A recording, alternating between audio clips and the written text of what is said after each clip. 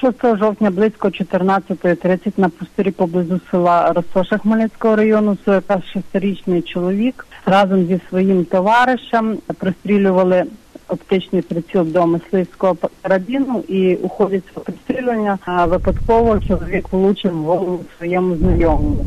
Потерпілий стояв неподалік мішені і спрацював саме приціл оптичний. Поранення було здійснено в голову, смерть наступила миттєво.